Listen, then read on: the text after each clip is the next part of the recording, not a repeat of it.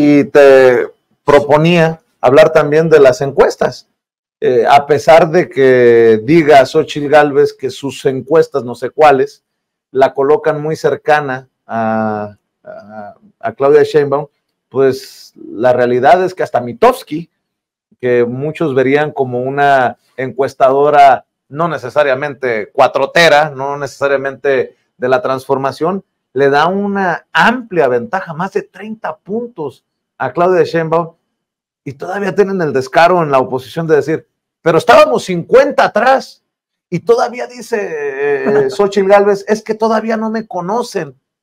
Yo no veo cómo eh, en estos meses, en una contienda eh, electoral de esta envergadura, una aspirante pueda remontar 30 puntos así nada más porque ya troné los dedos. Por eso es importante espacios como el tuyo, de Contralínea y otros medios independientes, Vicente, porque precisamente lo que estamos haciendo es que se conozca quién es Xochitl Galvez, porque una vez que el otro 50% la conozca, va a bajar su puntaje ante Claudia Sheinbaum, porque estamos revelando la enorme corrupción de inmobiliaria, se está viendo lo del plagio que cometió, y se está viendo que es una mujer que no tiene principios, que no tiene ética, eh, una mujer deshonesta, eh, aunque ella no es culpable, pero con una hermana secuestradora que está en prisión. Entonces, todos estos datos, en cuanto a la otra población que dice, dice que es 50 quien la conoce, yo no creo que no llegue ni al 10%, pero bueno, el resto de la población, en cuanto la conozca y sepa quién es, va a aumentar el puntaje de diferencia en favor de Claudia Sheinbaum. Y además sin una ideología, sin una convicción. Solo como ejemplo, el tema este de hace unos días que le plantearon el tema del aborto. Bueno, pues antes estaba a favor de, y ahora como es la aspirante del frente, pues ya no sabe, ya no, ya no sabe si estar a favor o en contra. ¿Por, ¿Por qué? Porque sabe que cualquier cosa que diga será usado en su contra ya sea del PAN, del PRD o del PRI, es una mezcolanza, una grosería de tal vez eh, niveles históricos. Yo nunca, no recuerdo haber visto algo así. Y yo sumaría otro dato de esta naturaleza de falta de convicción y de claridad. Y un día dice una cosa, al otro día dice otra cosa. Lo de los programas sociales. Ella decía que había que quitarle los programas sociales a los de la tercera edad, y pensiones y becas y todo esto, que porque no había que darle dinero a la gente. Hoy dice que va a mantener esas pensiones. Pues esto, esto mismo que mencionabas tú eh, es otro ejemplo de esta inconsistencia en su discurso. Y fíjate que es interesante porque si tú ves, por ejemplo, López Obrador, cuando llega a poner en su conferencia matutina estas entrevistas que le hacían y ves el discurso que daba hace 20 años, hace 10 años a lo que está haciendo, es lo mismo, Vicente. Hay una consistencia en sus declaraciones, en sus discursos, impresionante. En aquel momento, pues nos parecería tal vez este, un iluso López Obrador por lo que planteaba. Vemos el gobierno en los cinco años que lleva, ya cumplido con lo que había propuesto muchos años atrás. Algo no, por ejemplo, que tiene que ver con la militarización. Ahí sí decía que no era conveniente tener a los militares, pero cuando llega, después del gobierno de Calderón, cuando llegue ve un país en llamas, en llamas literalmente, no puede sacar el ejército de las calles. Él, lo ha admitido, ¿no? O sea, me encontré una situación peor de la que él lo reconoce y lo ha aceptado, porque no es una falta de, de, discurso o un cambio de convicción. Dice, lo que pasa que no se puede porque el país está muy complicado y crea la Guardia Nacional. Con estos niveles de, apoyo o, de intención de voto que apuntan las encuestadoras, ¿no me parece entonces tan descabellado lo que se han trazado como objetivo tanto Mario Delgado, presidente nacional de Morena, y la propia Claudia Sheinbaum, coordinadora de la defensa de la Cuarta Transformación, de llegarle o de buscar llegarle a los 35 millones de votos en el 2024. No es nada descabellado eso, no es nada descabellado. Realmente la población, tú ves que ahora panistas, preistas, este, dicen que van a votar por López Obrador. Hay un grupo muy radical en el panismo, muy, muy, muy radical, que no pueden escuchar la voz de López Obrador. Por supuesto, no ven las mañaneras, que lo ven como eh, el diablo. Como un comunista, pues bueno, tú te fuiste más profundo. Como un comunista, ¿no? O sea, porque además ni entienden qué es el comunismo ni el socialismo, es la verdad.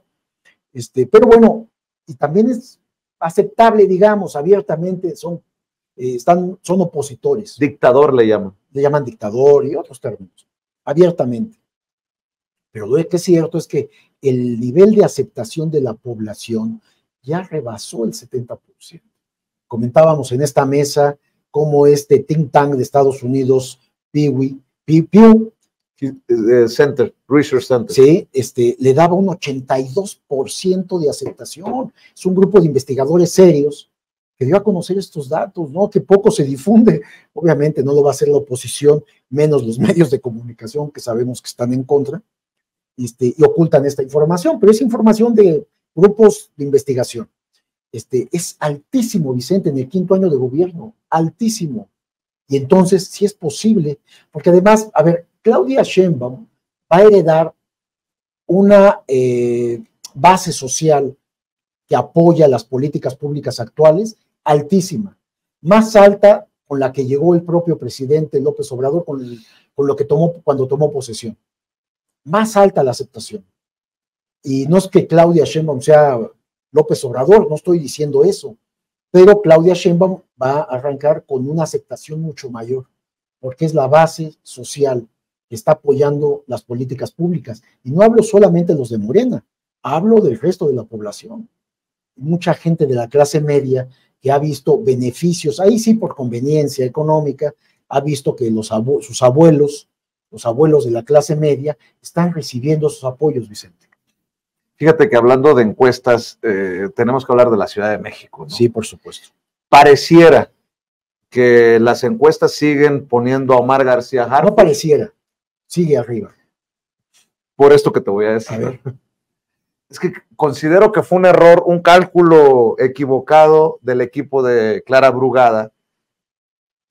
Mm, no sé si presumir es la palabra, pero publicaron ayer que estaban muy contentos porque van muy bien que la, casa encuestadora Mercaey señala que están en primer lugar de las preferencias para encabezar la coordinación de los comités de defensa de la cuarta transformación en la Ciudad de México y dice, arriba corazones que vamos a ganar la encuesta. ¿Mercaey no era la encuestadora de Marcelo Ebrard? Creo que sí. Nos parece. Y yo, yo me saqué de onda, dije yo, pero qué necesidad en el equipo de Clara Brugada. Me imagino que Clara no, como anda tan eh, ocupada en los recorridos, no sé si supo de este tweet. Y yo dije yo, pero bueno, vamos a suponer sin conceder, pero la gran mayoría de las encuestas ubican todavía a Omar García Harfush eh, en la punta, ¿no? A la, cabeza. A mí me daban datos de encuestas, digamos, las internas, las que no hacen públicas, que son los equipos de adentro, este, que está 15, por, 15 puntos. Arriba. Yo, di, yo, yo había considerado con todo esto que se presentó de Ayotzinapa, que es algo sensible, muy, muy sensible para la población, que iba a bajar la puntuación después de que escuché a Alejandro Encinas, al subsecretario de Derechos Humanos, este, ser tan contundente en esto de los datos de, y de señalar que había estado eh, García Harfush en dos reuniones donde se fragó la verdad histórica. Él no tenía no tenía voz ahí, no era un asunto de votación tampoco, no tenía voz, pero estuvo presente. Entonces, eso pegaba en la, en, la imagen de García Harfuch, que ya también ha salido a dar su versión de este asunto. Pero fue más contundente lo que dijo el presidente en la mañanera, ¿no? Sí. O sea, el presidente dice, hey, estar en un par de reuniones mm, no es lo mismo a participar en la desaparición. Básicamente a mí me cuenta. Es muy justo en ese sentido el presidente, ¿no? A mí me. Pues es, su, perfil democrático, Vicente. Porque él puede tener alguna preferencia por Clara Brugada. Ok. Pero ya les dijo, porque me contaron una reunión privada. No digo quién. No digo quién fue a hablar con el presidente para plantearle que pues, tenía que ser Clara Brugada, que ya eh, bajaran a, a, a Harfush. Y la respuesta del presidente es, se va a hacer mediante la encuesta y todos aquellos que participen lo que la población decide. Es decir, no aceptó esta petición de que se bajara este, García Harfuch. Yo por eso decía, eh, Miguel, eh, en otros espacios incluso, que no puede volar esa idea de bajen a García Harfuch, porque no es democrático. Es, como apostarle a la simulación de la oposición, ¿no? Que le fueron limpiando el camino a Xochitl Galvez. No puede ser así. No, no es y además, con una clara brugada que tiene amplio historial, eh, con tan buenos resultados en Iztapalapa, enfoquémonos en hablar de los aspirantes y no en tratar de con mucho respeto lo digo. ¿eh? O sea, eh, hay, una, hay una petición eh, en redes sociales de firmen. Claudia Sheinbaum, Mario Delgado, no permitan la candidatura de Omar García Harfuch. Híjole, no me parece muy obradorista o muy de la 4T que digamos una posición de ese, en ese sentido. Y esta discusión, Vicente, ha llegado, ya comentábamos, a la propia presidencia de la República, ha llegado a la propia, eh, a quien va a ser la próxima presidenta de este país, Claudia Sheinbaum. Tú sabes, por ejemplo, que Martí Batres está apoyando a Clara Delgado, claro. Eh, Mayo Delgado. Es decir, personajes. Martí Batres es jefe de gobierno.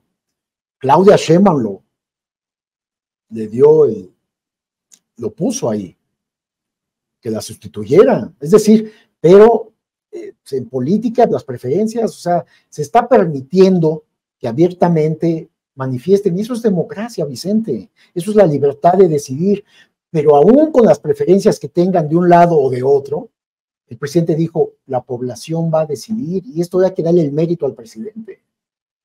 Por eso Harfuch se mantiene en, arriba en las encuestas. Este, yo te diría, no es mi preferido tampoco, pero este acto democrático de decir que sea la población es sumamente valioso. Yo, yo cuestiono algo, Vicente, creo que ya lo hemos comentado, si no lo comento ahora. Eh, me parece que la experiencia, ¿por qué se mantiene las, arriba en las encuestas? Porque es un buen papel como policía y dar seguridad a la población en la capital del país. Es un buen papel. Me parece que yo me siento más seguro, mi familia, la colonia donde vivo, eh, platicamos del tema y los números, eso dan, los números de, delitos en la capital del país. Es decir, es un policía que cumplió. Claudia Sheinbaum está contenta con eso, con los números, porque eso también le, puede, va a dar a Morena mayor porcentaje eh, en la votación este, para, la, jefatura de gobierno en la capital del país. Este, pero yo pregunto, ¿qué, pasar, ¿qué va a pasar en la parte política en la parte económica, en la parte social. García Harfus no tiene experiencia en esto, Vicente. No tiene experiencia en esto. Es un sujeto que ha estado vinculado desde familia a los cuerpos policiales y militares. Es alguien que tomó cursos, seminarios en la DEA, en la CIA en Estados Unidos. Es alguien que sabe de, seguridad pública. Muy bien. Me sorprende que lo hayan puesto en la jefatura de gobierno o como, como aspirante, pues, perdón, como aspirante esté peleando ser jefe de gobierno. Me sorprende, pero me parece que si está arriba en las encuestas y la, porque la población está decidiendo, pues va a ser él. Y entonces tendrá que formar un equipo con todos esos conocimientos, porque hay que negociar en la capital, en la parte política. Yo no lo veo negociando con el PAN y con el PRI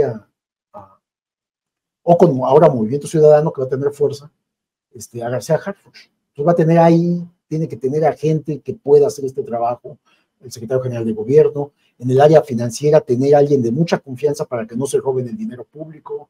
¿Me explico? Sí, claro. Piensa uno atender los problemas sociales. Pero esta es la complejidad y hasta lo apasionante de una Ciudad de México, que la Ciudad de México no es eh, solamente, en este caso, porque está Clara Brugada en el Merequetengue, Iztapalapa, ¿no? que además todo mi respeto para la gente de Iztapalapa y la raza, pero pues también votan en la Benito Juárez, en las Lomas, en la Condesa, en, la Roma, en, estas zonas que pudieran ver eh, otras cosas que a lo mejor nosotros no veríamos. Y otra cosa importante, Miguel, para el debate. Esta es una encuesta abierta. No solamente es a, las, a los simpatizantes. Ese dato es importante. Yo te diría, si fuera una encuesta con este, militantes de Morena, gana Clara Brugada. Pero no, es abierta. Las encuestas son abiertas. Este, lo que se ha presentado y hay muchos puntos de diferencia. Me parece que ya no hay tiempo para que esto se revierta. Es lo que yo pienso. Pasa lo mismo que con Marcelo, pues, en la presidencial. Y que no, y, esto que, lo traes a colación, hay que tener cuidado, porque gane quien gane, los otros aspirantes tendrán que cerrar filas. No hay, no hay más. No se puede apostar a, ir por la misma ruta, y si no por la misma ruta, eh, algo que huela a la misma ruta de Marcelo Ebrard, porque no hay tiempo siquiera para, em, para cerrar heridas, eh, la, famosa operación cicatriz, porque ya está encima el 2024, Miguel. A lo mejor estoy hablando como un em, hombre que quiere este camino de la transformación y le ofrezco una disculpa a la gente. Sí, claro, y continuidad y profundización, pero carambas. O sea, si no les hablo, al menos desde, desde, mi, desde mi trinchera, si no le hablo con honestidad, pues ustedes lo, notarían. Y yo digo, si es Clara Brugada, tendrán Mariana Boy, eh, Hugo López Gatel, eh, Omar García Harfush, que cerrar filas. Si es Omar García Harfush, ahí está el reto si el sector duro de Morena, de la izquierda, va a cerrar filas en torno a este personaje. Pues se ve solamente el conflicto en ahí de esto que mencionabas, Clara y Harfush. Yo no sé, y no lo sé porque no lo, este, el doctor López Gatel y eh, Mariana Boy, que a quién le estén prestando votos sus aspiraciones en la encuesta. Eso es importante. Yo creo que Hugo López Gatel, no sé si lo hayan analizado así, es clara, porque Hugo lo, se ve como parte de este grupo de, este grupo de izquierda, eh, de este grupo puro de los duros, creo. Así, así lo percibo. El compromiso de López Gatel más bien es con el presidente López Obrador, claro. con este gobierno, claro. no tanto en la militancia de izquierda. Él lo ven como un servidor público que ha cumplido, desde mi punto de vista ha cumplido excelente. ¿eh? Yo no tengo absolutamente queja. De hecho, pues todos los somos periodistas, debimos de investigar todo lo que tiene que ver con el COVID. Yo estuve al pendiente, salí a la calle, hice trabajo al respecto. Y eh, para mí el trabajo de López Gatel fue como la Secretaría de Salud, como el presidente mismo, la compra de medicamentos, no, no escatimar recursos. Eh, todo lo que se hizo fue de primera. O sea, yo no tengo queja. Me parece un excelente servidor público López Gatel. Este, pero, y tiene, digo, la población lo conoce, estuvo dos años todos los días este, en la conferencia matutina, dando, dando conferencias, lo conoce muy bien la población. Yo no sé si nada más a ella le quite votos, eh, a, Clara Brugada, yo también creería que es la más afectada por la presencia de López Gatel, pero en la combinación de, de votación, no, no tengo claro este, sino también puede afectar de manera importante a, García Harfush, por esto mismo que dices, que, él se le ve más de lado, un perfil más eh, social, este, tipo Clara Brugada, y, no un tipo más policial de García Harfush, que siempre esta parte policial nos hace ruido a la ciudadanía, este, a la población, que sean personas que están de lado eh, policías al mando de cuestiones políticas públicas, ¿no? Entonces tú dices, con esta ventaja que muestran las encuestas, sería difícil que, sí creo. que gane Clara Brugada. Sí, estamos hablando aquí, yo dije claramente, a mí me parece que Clara hay un mejor papel, pero reconozco que la población va a decidir y creo que no hay forma ya de que eh, se revierta eso. Se revierta la tendencia que claramente le da a, a García Harfush esta ventaja. Y me sorprende que lo de Ayotzinapa no le haya restado puntos. Me sorprende. Pero así es.